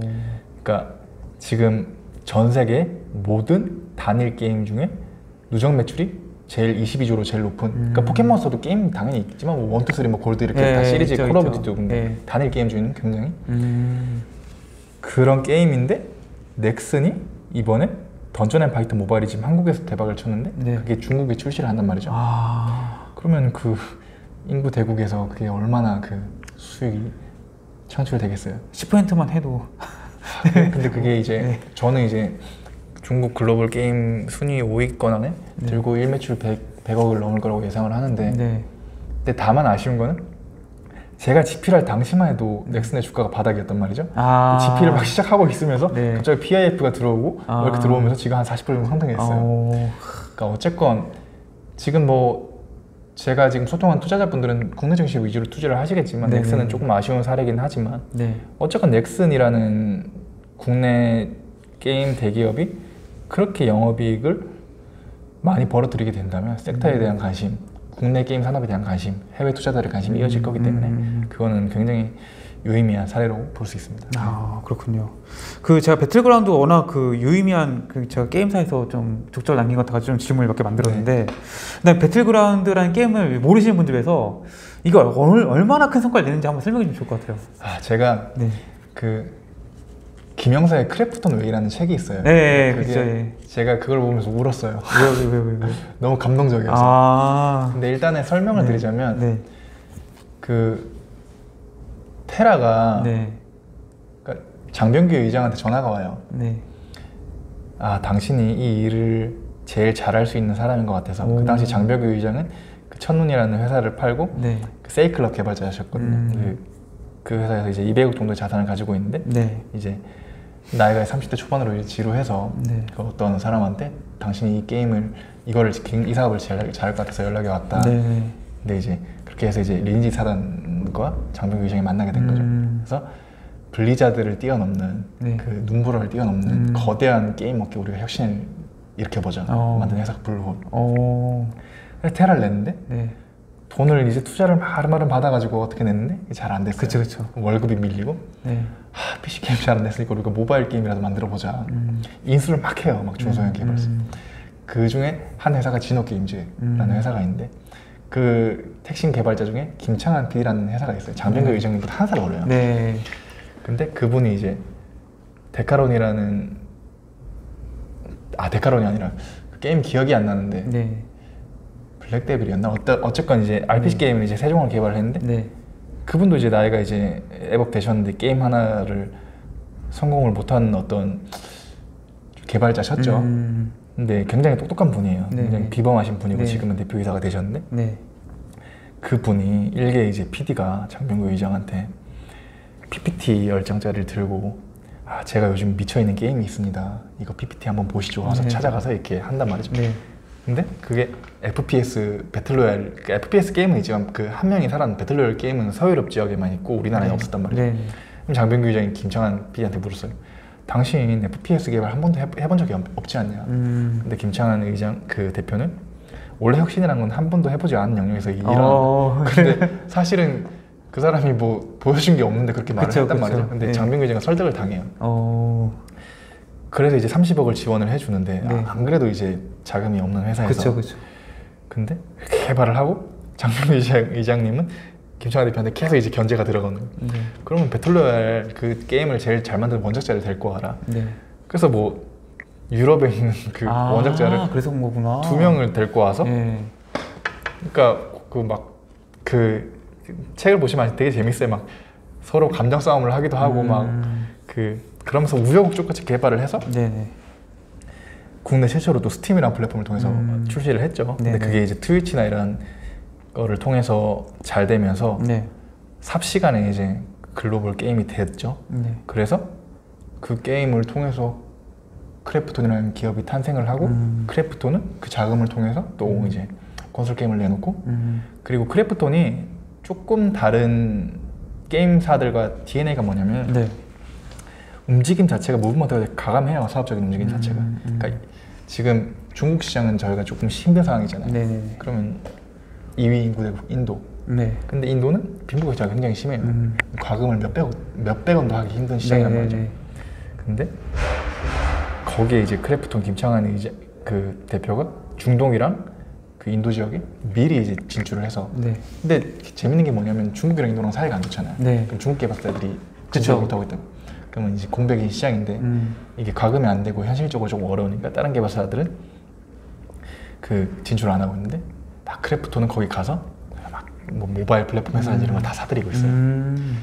그러니까 장기적인 모멘텀 인도 시장에서 어떤 유의미한 성과를 낸다면은 그것도 어떻게 보면 역사적인 사건이죠. 네. 음. 그럼 이제 그 배틀그라운드를 이제 크래프톤이라는 기업이 개발해서 큰 성공을 거뒀잖아요. 네.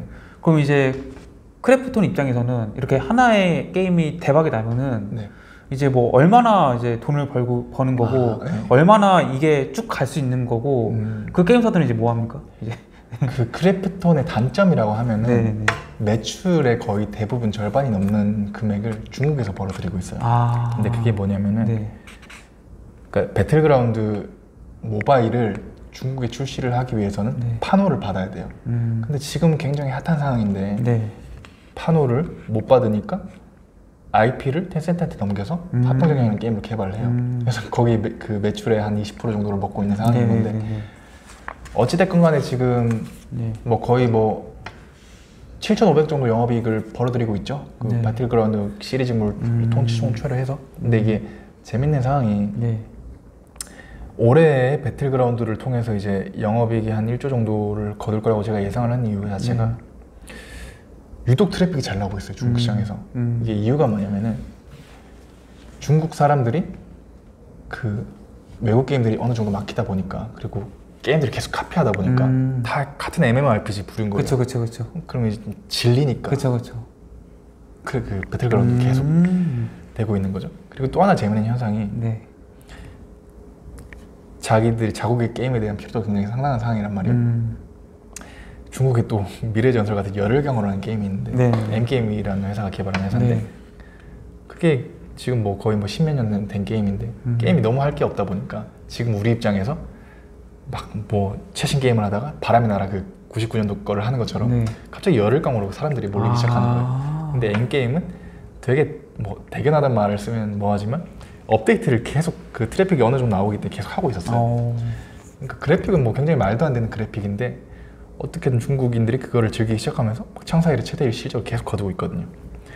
그리고 그 엠게임이 진열혈강호라든지 이제 개발 자체 개, 개발 게임을 네네. 모바일 게임을 이제 출시를 할 예정인데 그래서 이게 잘 되면 또 엠게임도 지금 시총이 뭐뭐 3천억이 안 되기 때문에 네. 택배 가능성도 있다 어. 뭐 이렇게 볼 수 있죠. 아 그 중국에서 이제 뭐그 그 중국의 user들이 할 게임이 없다라는 거는 뭐 중국 게임 개발 업체가 뭐 적다는 얘기인가요? 아니면은 그 게임의 그 quality 낮아가지고 재미가 없다는 건가요? 굉장히 게임 회사들도 많고 네. 그러니까 아까도 말씀드렸듯이만 결국엔 뚜렷해야 살아남는데 아. 겁나잖아요. 그럼 뺏긴단 말이죠. 음. 그러니까 이게 뭐 원신이라는 게임이 이제 글로벌리하게 되게 흥행을 하고 있는데 네. 그러니까 다 게임의 패턴이라든지 이런 게 다 비슷비슷해진단 말이죠. 음. 그러니까 우리나라도 뭐 예를 들어서 갑자기 이제 그 한식만 먹게 되는 상황이 온 거예요. 막 외국 네, 음식들을 네, 다안 네, 먹게 네, 되고 네. 그러면 당연히 질리죠. 아. 그러면 이제 뭐 막 어떤 뭐 과자라든지 뭐 이런 거에 이제 음. 갑자기 쏠릴 수도 있는 거고. 음. 그러니까 뭐 중국도 지금 뭐 텐센트가 있기 때문에 네. 게임 초강대국이죠. 다만 기획력이라 그러죠. 음. 그 IP인가요? 그러니까 뭐 어떻게 보면 좀 참신함 네. 그걸 그걸 국내 업체들 아하. 국내 대한민국 못 따라가는 거예요. 그러니까 아. 저희 게임사들은 그 기획력이 대단해요. 음. 그러니까 예를 들어서 뭐 리니지도 있겠지만 뭐 그 쿠키런이라든지 서머너즈 워라든지 네, 뭐 네. 배틀그라운드 이런 게 다 특색이 다르단 말이죠. 온전하게. 음, 네네네. 그 부분들에 있어서 생태계가 굉장히 다양하기 때문에 네. 이게 안 돼도 이게 잘 될 수가 있으니까 음. 산업 생태계인데 건전한 편이라다라고 볼 수 있는 거죠. 네. 그 게임과 블록체인의 관계는 어떻게 되는 거예요? 블록체인은 네. 쉽게 말씀을 드리자면 네. 뭐 원론적인 얘기 말고 네. 그러니까 그 게임을 네. 현금화할 수 있게끔 코인을 이용해서 하는 건데 네. 그러니까 위메드의 예를 들어 설명을 드리자면 흑철이라는 재화가 있어요. 네. 그 흑철이라는 재화를 유저가 캐게 되면은 그거를 이제 토큰으로 바꿔서 네. 비썸이라는 코- 그 거래소를 통해서 이거를 위믹스로 주- 변환을 해서 돈을 얻는 구조인데 국내에서는 이게 불법인데 이제 해외에서는 합법이란 음. 말이죠. 이걸 하고 있는데 네.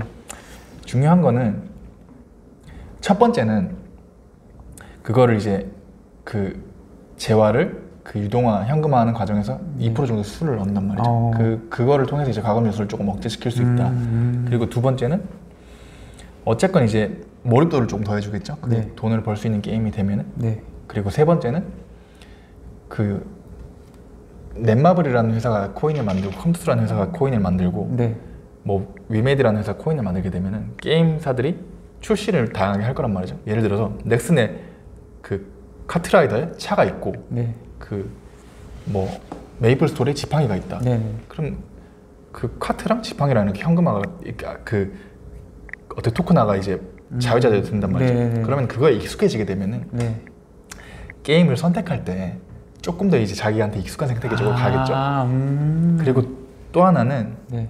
이거를 코인을 상정을 하게 되면은 유동화할 수 있단 말이죠. 네. 리믹스를 매각 매각을 하게 되면 분명히 이제 뭐 비난은 많이 받겠지만 어쨌건 이게 기천하게 이제 수익을 새로운 어떤 그 현금을 창출할 수 있는 수단이 생기는 거고 네. 그렇게 현실적인 입장에서 볼 수도 있는 거고 다만 그러니까 제가 말씀을 드리고 싶은 거는 저는 이제 P2E랑 NFT에 대해서 책에서도 많이 담긴 했지만 네, 그게 네. 게임의 본질은 아니란 말이죠. 그러니까 우리가 돈을 벌기 위해서 게임을 하는 게 아니, 아닌 것처럼 네. 네. 그러니까 게임사도 두 가지가 있어요. P2E NFT를 굉장히 이제 공격적으로 뛰어드는 회사가 있고 네. 스마일 게이트는 우리는 게임의 본질에 음. 그 중점을 둬야 된다. 네. 그러니까 결론적으로 우리는 게임을 즐기기 위해서 하잖아요. 돈을 네, 벌기 그쵸. 위해서 하는 게 아니라. 그쵸. 그러니까 사람이 모여야 재화가 그쵸. 가치가 있는 건데. 그러니까 게임이 재밌으면은 네. 뭐로 가도 된단 말이죠. 아, 그쵸, 그쵸. 결론적으로는 게임성이 제일 중요한 거고 네. 그를 통해서 있는 부가 수익보다 게임을 통해서 얻을 수 있는 부가 수익이 훨씬 크기 때문에 음. 그거를 통해서 이제 여러 가지 소규모 게임사들을 인수를 해서 생태계를 늘리는 것도 음. 분명 어, 의미가 있지만 결론적으로 게임이 재밌어야 된다라는 음. 말씀 드리고 싶습니다. 그러니까 이제 지금 이제 블록체인하고 게임이 결국에는 내가 게임에서 어떤 아이템을 딱 뭐 획득을 했으면은 그게 지금은 뭐 예를 들어서 뭐 게임 내에 있는 뭐 화폐랑 교환이 되거나 네네. 아니면 뭐 아이템 거래 사이트에서 뭐 올려가지고 네네. 거기서 이제 현금과 교환이 되는 거잖아요. 네네. 근데 그게 아니고 이제 그러니까 이, 이 여기서 창출된 아이템은 결국 그 게임사 플랫폼 운영되는 네, 만드는 그렇죠. 코인으로 이제 거래가 된다는 말씀이시고 네, 네, 네. 그 코인을 이제 우리가 현금화. 거래소에서 현금화 네, 가능하니까 네, 네. 이거 어떻게 보면 이제 수익이 게임하고 돈 번다니까 결국 그 얘기인 거죠? 그렇죠. 네. 근데 이게 수수료가 2% 정도란 말이죠. 네네네. 근데 그러면 이 매, 그 그게 거래가 1조 원 정도 일어난다고 해도 네, 실제로 그렇죠. 200억밖에 안 된단 말이죠. 네네네. 그러니까 그게 이제 수익적으로는 음, 의미는 없- 조금 위험한 네. 발언이긴 하지만 네네. 크게 의미가 없고 네. 그리고 두 번째는 위메이드가 위믹스를 팔면서 네. 천억 정도를 얻었단 말이죠. 네. 그게 처음에는 영업이익으로 잡혔다가 영업이익 네. 뺐어요. 네. 이게 회계적으로 이슈가 있어가지고. 그러니까 그 위믹스를 매도를 한게 네. 수익으로 볼 거냐 수익으로 안볼 거냐. 아. 근데 그 어떤 학계에서는 그걸 선수 수익, 선수 수익이 음. 뭐냐면은 백화점이 네. 상품권을 팔 때처럼 네. 부채로 잡기로 했단 네, 말이죠. 네, 네. 현금은 얻어가지고 그러니까 결국에는 실적으로 반영이 안 된단 말이죠. 음. 그리고 이제 지금 시장적인 상황이 안 좋기 때문에 네네. 그좀 예민한 상황이기 때문에 음. 그런 매각을 조금 delay 할 거다. 그래서 음. 지금 지금 현 상황에서는 조금 크게 의미가 없다고 생각을 하고 아, 그리고 또 하나 반전 네. 중요한 게 뭐냐면은 모바일 게임에서 P2E가 그렇게 큰 의미가 NFT나 블록체인이 큰 의미가 없겠지만 소셜 카지노는 네. 게임 머니를 현금화할 수 있다면은 어. 이게 산업 자체가 와. 어마어마하겠죠. 폭발하겠는데 이건 진짜. 네, 그래서 저는 소셜 카지노 기업을 좋게 보는 거고 음. 그리고 중요한 게 뭐냐면은 지금 세계 경제가 다 어려워요 new normal이라서 네네네. 근데 세수가 안 걷힌단 말이죠. 네. 근데 미국이랑 영국이랑 어차피 도박 카지노 네. 수백 년 동안 인류의 역사와 같이 그쵸. 했는데 그쵸 그쵸. 그거를 음성화하지 말고 온라인으로 즐기고 양성화해라. 음. 그래서 그 카지노 시스템들이 비대면화가 되고 있어요. 뭐 음. 미국엔 DraftKings가 있고 음. 거기에 이제 제일 어떤 협조적인 나라가 미국이랑 영국인데 음. 소셜 카지노 게임이라 하면 그 카지노 게임의 어떤 양식들을 모바일로 옮긴 걸 말을 하는데 네. 근데 그런 게 지금 시장 규모가 한 7조 정도 되는데 음. 그게 이제 지금 뭐 현금화가 제대로 안 되고 있는 상황인데도 그런데 아.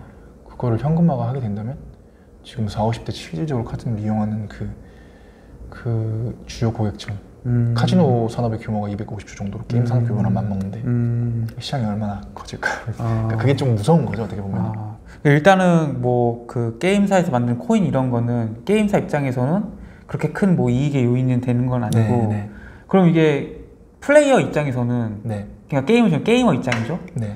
그 이들한테는 이게 일종의 뭐 게임이랑 동기부여가 될수 몰입 장치죠. 네. 그죠 몰입 장치. 네. 이걸로 뭐 소득을 창출하고 하는 게 유의미한 소득 창출 가능할까요? 저는 조금 비관적으로 보는 게 음, 그러니까 P2E랑 NFT를 네. 조금 잘 살려서 이제 이게 부가 수단일 뿐이지 이걸로 아, 어떻게 이걸로 보면은 그러니까 예를 들어 설명드리자면 Axie Infinity라고 네. 그 어떤 그 공룡들을 두- 그 교배를 해서 뭐 이런 게임이 있는데 그거를 NFT랑 결합을 시켜가지고 뭐 네. 특이한 어떤 그 캐릭터가 나오면 그걸 비싸게 팔고 이게 되게 유행을 했었던 동남아 네. 지역에서 네. 근데 그 Axie Infinity의 그 Axie라는 그 화폐의 가치가 굉장히 음. 급락했단 말이죠. 네.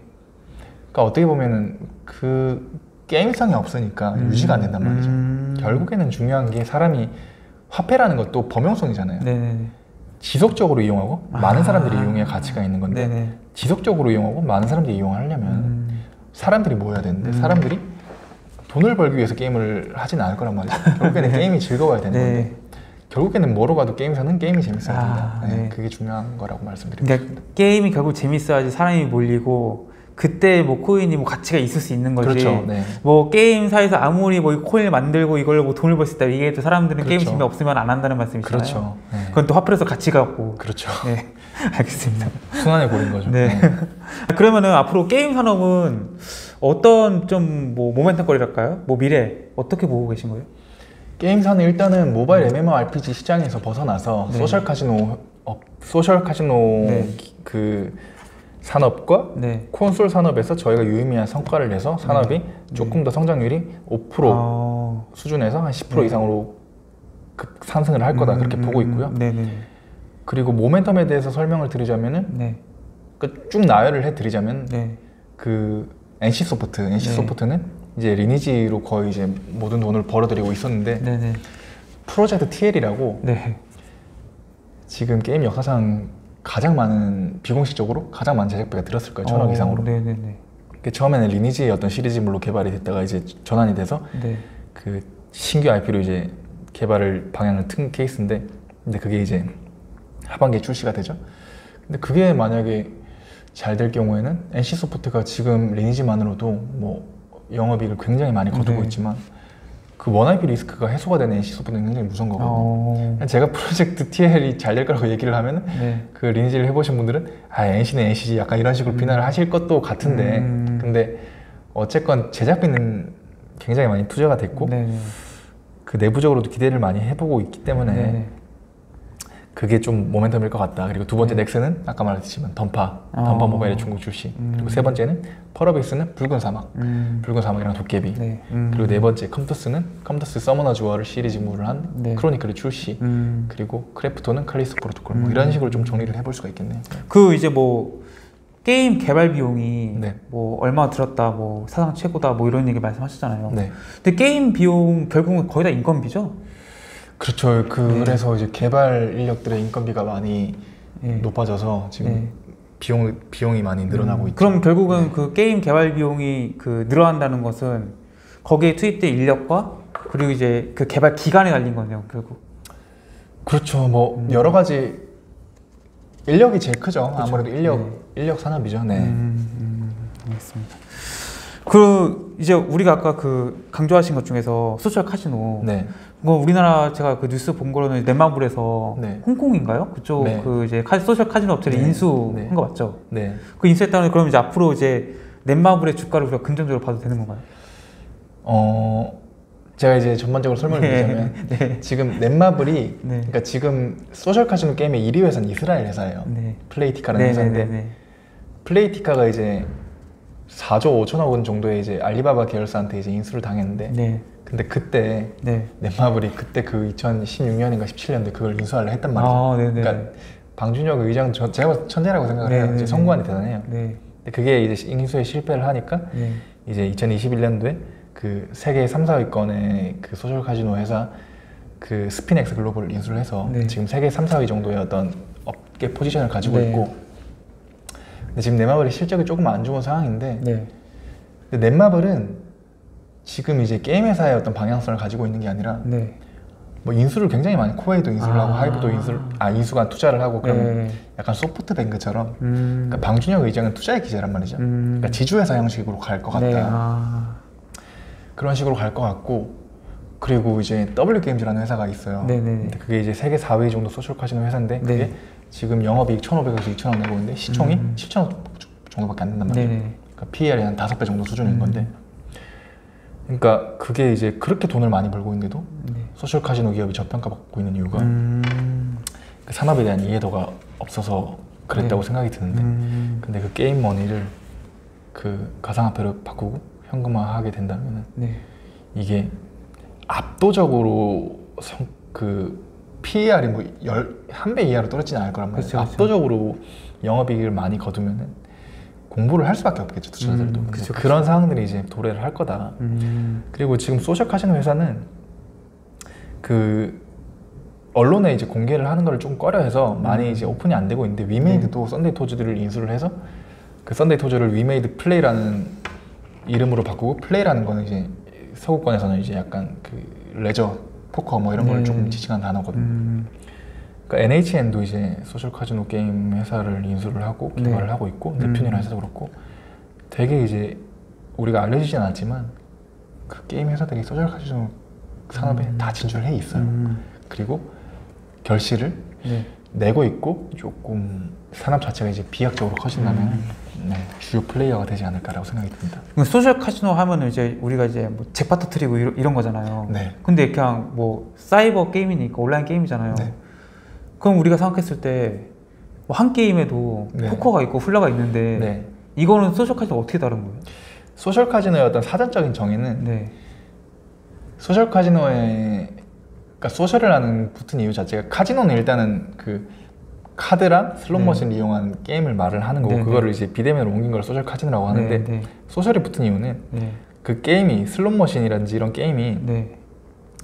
북미 아줌마들이 굉장히 많이 하는 게임인데 음. 40, 50대 여성들이 많이 네, 하는 네, 게임인데 그 게임이 네. 페이스북을 통해서 유통을 좀 많이 했어요. 음. 그래서 소셜이라는 단어가 붙은 네, 거고 네, 네. 그래서 그 단어를 개- 현재까지도 이어오고 있는 거고 네. 그래서 소셜 카지노 게임은 지금 우리나라에서 생소하죠. 우리나라는 바다 이야기 그쵸, 어떤 예. 그 아픔이 아직 남아 있기 때문에 네. 그게 북미랑 서유럽 지역에서는 음. 이제 한때 이제 1위에 올랐던 게임이 문 액티브의 게임이 있는데 미국 북미 지역에서 그게 그 침략 게임, 영토 약탈 게임인데 네. 아이템을 얻을 때 그 코인을 넣어요. 네. 슬롯 머신 이렇게 나와요. 네. 그럼 검이 이렇게 세 가지 가로줄로 네. 놓으면 뭐 아이템이 좋은 거라고. 아. 근데 우리나라에서 그렇게 하면 난리가 나겠죠. 근데 네. 그런 것들이 북미 지역에서는 되게 친숙해요. 음. 네, 그래서 이제 그 슬롯 머신에 대한 호감도가 있어요. 북미랑 서유럽 지역에는. 음. 그리고 우리나라에서는 그거를 잘하고 있는 회사들이 굉장히 많고 스핀엑스라든지 음. 뭐 더블유 게임즈라든지 뭐 네. 미투젠이라든지 네. 그래서 그 부분에 대해서 유의미한 성과가 일어날 것 같고 음. 네, 그 그래서 장병규 의장이 컨퍼런스에서 네. 뭐 소셜 카지노 게임에 대해서 얘기를 하면은 어, 해결책을 찾으면 네. 이 게임 생태계에서 그 파급력이 어마어마할 거다 뭐 이런 식으로 아. 논지로 말씀을 해주신 적이 있는데 네. 그 해결책이라 함은 그걸 어떻게 사업적으로 풀어내는 거겠죠. 음. 결론적으로 봤을 때 한국에서는 소셜 카지노 게임은 네. 성장하기는 힘들 것 같아요. 일단 시장 음. 자체도 조금 좁고 음. 그러니까 그 사행성에 대해서 정서적인 방향이 굉장히 네, 심하기 그쵸, 때문에 그쵸. 지금 웹보드 게임도 이제 음. 50만 원 정도로 올 50만 원 과금 음. 한계가 있고 근데 결국에는 뭐 그거를 차치하고라도 북미랑 서유럽 지역에서는 지금 뭐 7조, 8조, 9조, 뭐 20조까지 커질 시장이기 때문에 네. 그리고 온라인 카지노를 지금 합법화하고 있는 추세이기 때문에 네. 그 부분에서 시장 파이를 조금 차지하게 된다면 음. 굉장히 유의미한 호재가 될 수 있다고 음. 생각이 듭니다. 예, 그러니까 이제 그 넷마블이나 이제 뭐 그 한게임에 있는 포커 게임 이런 것들은 그것도 어떻게 보면 가짜- 소셜 카지노 게임이라고 볼 수 있는 볼 수는 있어요. 이게 사전적으로 합의된 정의가 없기 때문에 아. 광의의 의미에서는 음. 근데 이게 그 한게임 NHN도 네. 뭐 NHN 빅풋이라든지 뭐 이런 자회사를 통해 소셜 카지노 게임 개발을 하고 있어요. 아. 네, 그래서 음. 이게 되게 많이 진출을 하고 있고 네. 되게 많이 노력을 하고 있어서 네. 그뭐 3, 4위 업체가 국내사기 때문에 음. 강국인 거죠 사실은. 아 그러면 이 소셜 카지노 이 게임들은 이게 게임 사업 우리가 베팅을 하는 건가요? 플레이어들끼리 베팅하는 건 아니고? 음, 일단은 이게 두 가지 방식이 있는데 네네네. 뭐 P2E 스킬즈 게임이라고 네. 그러니까 그 포커 게임을 할 때 이제 거기는 이제 상대자들이 있는 거잖아요. 네네네. 상대자들이 있어가지고 네. 이제 뭐 참여비를 거두고 그걸 음. 이긴 사람이 판돈을 얻는 그런 네네. 게임의 양식이 있을 수가 있고 어. 뭐 슬롯 머신 네. 북미 슬롯 머신은 이제 그 플레이어와 네. 어떤 개발사들 네. 간에 이렇게 아. 할 수도 있는 거고 그 양식은 이제 음. 다양한 방식인데 그래도 정서적인 어떤 그 저항감이 그냥 대, 플레이어들끼리 그쵸 대결을 그쵸. 좀 덜하죠. 예. 네. 아 조작의 의심도 있고. 예. 저희 나라에서는 이거는 한 5년은 먼 얘기라고 예. 안될 것 같습니다. 국민적인 저항감이 국민 저항감이 네. 크기 때문에. 네. 예. 그러면 이제 뭐 이 부분이 가장 궁금하실 것 같아요 보시는 분들이. 그럼 대체 뭐 게임 사업 좋은 거 알겠다. 그럼 대체 어디 거 사야 되냐? 찍어달라. 어느 어느 기업들 좀 좋게 보시는 거예요? 자 일단 이거는 네. 제 개인적인 판단이고 네, 네, 네. 그래도 이제 신뢰성을 더하기 네. 위해서 제가 말씀을 드리는 거는 네. 제가 가지고 있는 종목입니다. 오, 네, 네, 알겠습니다. 제, 가 가지고 있는 종목 네, 뭐 one two three를 네, 얘기를 해드리는 거고 네. 판단은 이제, 뭐 투자자 분들이 네. 이제 판단에 맡기겠습니다. 네. 일단은 그래 첫, 저는 첫 번째는 아까도 말씀드렸지만 W 게임즈 음, 그 W 게임즈 갖고 있는 것 자체는 소셜 카지노 기업 기업이면서 네. 영업이익을 지금 1,500억, 2,000억씩 계속 내고 있다. 음, 근데 뭐 재무제 야. 표는 더할 나위 없이 훌륭하지만 네, 네, 투자자들의 관심이 안 모였기 때문에 수급이 아. 정체된 관심 그게 있는데 네, 산업 전반에 어떤 그 어떤 주도주화 현상이 일어난다면 소셜 카지노 기업들에게도 어떤 온기가 조금 불어닥칠 거기 때문에 음. 그래서 소- W 게임즈를 가지고 있고요. 네, 네. 그리고 두 번째는 컴투스. 음, 컴투스도 10 bagger예요. 2014년도에 네, 그렇더라고요. 예. 10배가 올랐는데 네, 그 10배가 오른 이유 자체가 서머너즈 워라는 RPG 음. 게임인데 그게 이제 이번 달이나 다음 달 중에 서머너즈 워 IP를 계승한 네. 거의 8년 만의 작품이죠. 어, 정통으로 계승한 서머너즈 크로니클이 나오는데 어, 한국에서 흥행은 사실 모르겠어요. 서머너즈 네. 자체가 한국에서 유행하는 게임이 아니기 때문에 네, 네, 네. 근데 북미와 서유럽 지역에서는 굉장히 국민 게임이거든요. 음, 누적 회원도 한 1억 2천 정도가 되어가고 오, 그러면은 지금 서머너즈 트래픽이 나오고 있는 상황에서 그쵸. 크로니클이 그러니까 하방은 유지가 되고 있는 상황인 네, 거죠. 네. 그러면 크로니클이 잘 되게 되면은 음. 그 영업이익이 음. 조금 그 폭증할 수 있는 구간이 있고 네네.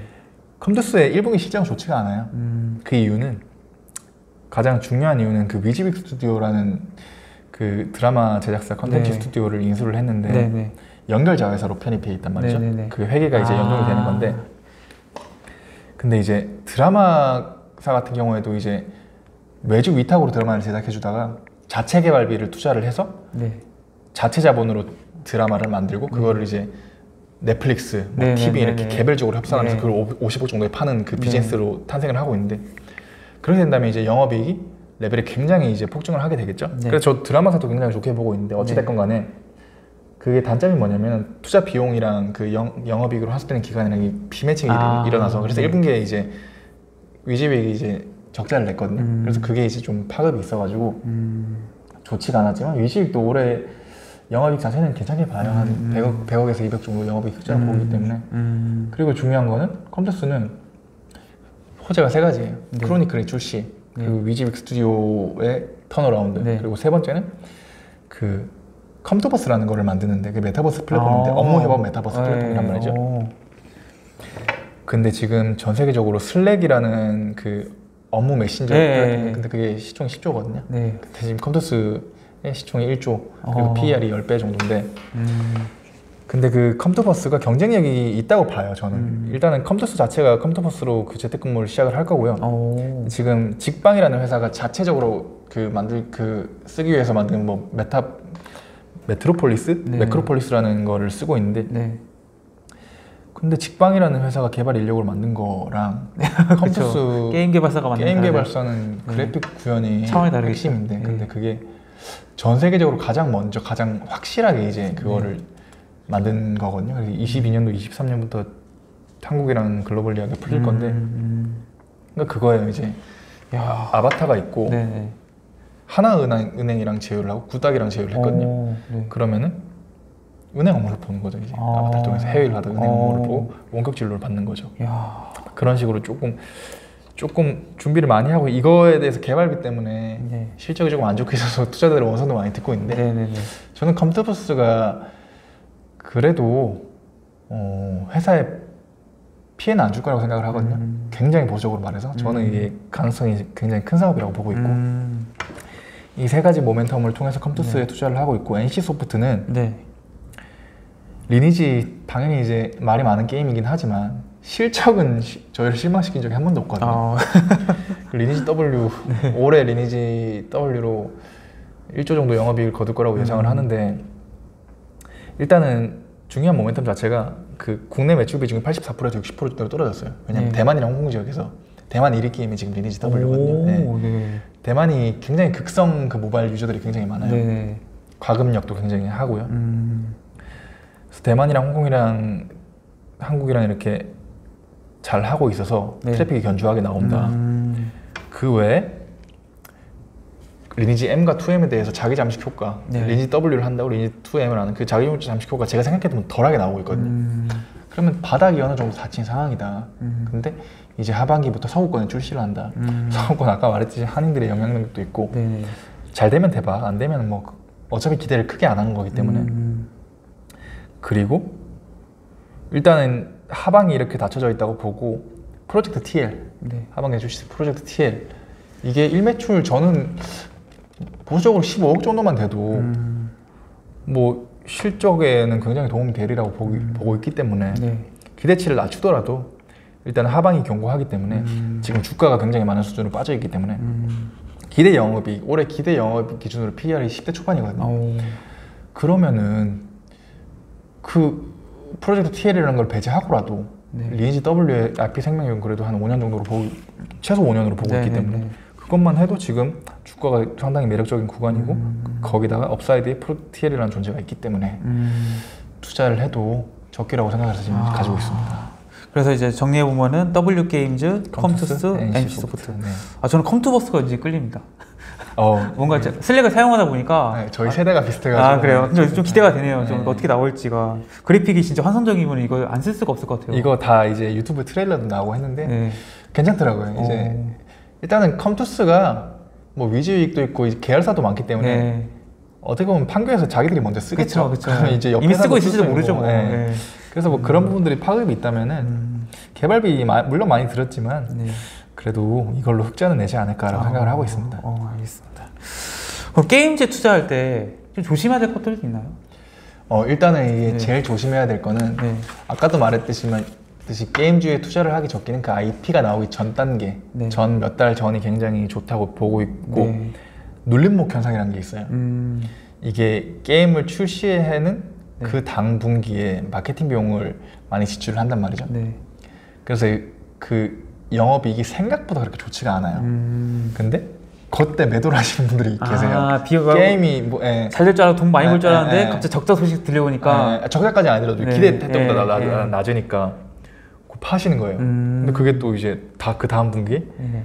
그러니까 컴투스도 그랬고 데브시스도 그- 그랬고 음. 눌림목 현상이 있었어요. 아. 그 다음에부터 실질적으로 영업이익이 굉장히 좋아졌거든요. 리니지 W도 그렇고요. 음, 리니지 W 같은 경우에는 그 개발자들 인센티브 주고 인건비 올라가고 마케팅 비용 지출로 인해서 음. 네네네. 그 다음 분기부터 그러니까 매도를 조금 성급하게 하시지 마시고 음, 조금 이제 음, long-term으로 시나리오를 가정을 해보시고 음, 조금 장기적인 호흡으로 음. 좀 실망을 조금 과민하게 하시는 분들이 조금 있으셔가지고 네네네. 일단 판단은 이제 투자자분들의 몫이고 공부도 이제 직- 어, 게임즈 빅- 빅뱅을 통해서든 뭐 다른 책을 통해서 공부를 더 하시겠지만은 네. 신뢰를 가졌으면은 그 신뢰 논리를 타이트하게 만들고 음. 그거에 대한 믿음을 조금 갖고 장기적인 호흡에서 바라보는 거를 조금 권유를 드립니다. 아, 그럼 대박 나는 게임들은 그냥 처음부터 반응이 뜨겁나요? 아니면은 뭐 지시부진하다 갑자기 뭐 뜨는 경우가 있나요? 어, 그, 음, 이게 글로벌리 출시하게 될 때 특정 국가에서 이렇게 트래픽이 잘 나오는 경우가 아, 있고요. 음, 어, 서서히 올라가는 경우도 있고요. 음, 서서히 빠지는 경우도 있고요. 음, 그런 경우도 있지만 네. 어찌됐건 간에 그 게임의 신규 게임을 개발할 때 개발비라는 거는 꾸준히 비용이 지출되고 있잖아요. 그렇죠, 그렇죠. 그거는 이게 어느 정도만 대박은 아니더라도 네네. 어느 정도만 그 매출이 이루어지면은 아. 그거를 upside가 생기는 오. 거기 때문에 그래서 조금 제가 이제 항상 말하는 거지만 middle risk high return이다. 아, 그러네요, 그러네, 네. 그러네. 예. 아. 그럼 끝으로 이제 구독자분들이 좀 해주고 싶은 말 있으신가요? 일단 장에 대해서 조금 설명을 드리자면 네네. 어 제가 이제 매크로 전문가는 아니지만 네네. 경기 순환의 템포가 좀 네. 빨라지고 있다. 네. 지금 뭐 미국의 연준 정책, 정책도 네. 뭐 긴축, 뭐 유동성, 뭐 이런 거에 대해서 매파냐 비둘기파냐 이런 거에 대해서 정체성이 모호할 정도로 네. 시도들을 굉장히 이제 시각적으로 상황적인 판단들을 하고 있는데 네. 어쨌건 지금 인플레이션 그 금리가 상승이 됐는데 상승 이전에 고성장주 좀 빠졌단 말이죠. 네. 그러니까 흔히 말하는 그 편견이 있는데 네. 그 어, 금리 상승기에는 고성장주는 피해라. 음. 뭐 금리 그 인하기에는 고성장주를 택해라. 네. 근데 사실은 지금 금리 상승이 되기 전에 고성장주들이 다 빠졌단 말이죠. 네, 그렇죠, 그렇죠. 반대로 얘기하자면 2015년도부터 18년도가 금리 상승기인데 그때 제일 많이 오른 종목이 big tech 기업들이거든요. 음. 그 공식이 이미 깨진 지가 오래고 결국에 지금 주- 유동자금들이 이제 전 세계에 움직이고 있는데 네. 코인이나 부동산이나 뭐 채권이나 다 메리트가 크게 지금 없는 상황이란 말이죠. 네. 재밌는 게 뭐냐면은 아 주식시장 어려울 것 같은데 어려울 것 같은데 어려울 것 같은데라고 말을 하고 많은 포지션들이 청산이 됐지만 그 유동 자금들은 크게 변화가 없거든요. 음. 결국에는 그 자본들이 적당한 투자처를 물색을 하고 있는 상황인데 네. 결론적으로는 옥석 가리기 음. 될 만한 주식은 오르고 안 될 만한 주식은 예를 들어서 뭐 지금 적자를 내고 있는 기업 네, 중에 네. 조금 성장성이 안 보이는 기업은 네. 더 내려갈 거다. 그러니까 음. 결론적으로 옥석 가리기가 시작, 시작이 될 건데 네. 현실적으로 실적이 좋고 우리가 어떤 상상을 불러일으킬 수 있는 종목은 경기 순환 사이클이 패턴이 빨라지고 있기 때문에 기회가 네. 어, 온다. 예, 음. 기다리면 온다. 음. 이게 가치 투자라는 게 실적을 보고 투자를 하는 거잖아요. 미래의 그쵸. 실적을 그쵸, 예측해서 그쵸. 투자를 예. 하는 거고. 예. 근데 그거에 대한 성공 방정식은 많은 역사가 증명을 해줬기 네. 때문에 네. 그 믿음에 대한 가치가 오히려 음. 역설적으로 상황이 불안할수록 올라가는 상황이다 지금. 음. 그래서 그 믿음을 견고하게 유지를 한다면은 음, 적어도 잃지 않는 투자를 하실 수 있을 음. 거라고 제가 이렇게 말씀드리고 싶습니다. 그럼 지금 이제 뭐 게임주에 투자하신 그 비중이 투자금 전체에서 몇 퍼센트 되시나요? 100%. 100%예요. 아, 정말 진짜 진성 게임즈 투자자 오늘 정말 나오셔서 진짜 좋은 말씀 많이 해주신 것 같습니다. 네.